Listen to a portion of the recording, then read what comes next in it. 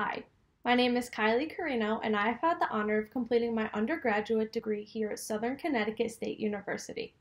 Our campus is a wholesome community that promotes student success. The undergraduate Communication Disorders program provides a comfortable learning environment that is student focused. The department pushes students outside of their comfort zone, which helps them grow as individuals and aspiring professionals. I have had the opportunity to interact with a variety of professionals on and off campus. Learning from professionals who have such vast experience has been invaluable for my academic career. Shadowing speech language pathologists at both the Yale New Haven Hospital and Orange Ave Elementary School, in addition to observing at Southern's clinic, has uncovered the importance of adaptability.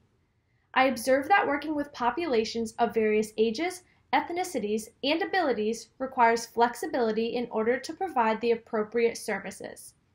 I am exceptionally passionate about advocating for my clients, especially for those who may communicate in unique ways.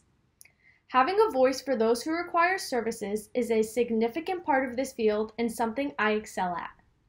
Additionally, being the current Vice President of NSSLHA and an active member over the past few years has granted me the opportunity to gain insight on matters directly related to my area of discipline. Holding a leadership position has been critical for my growth and is something I can build off of as I begin my career.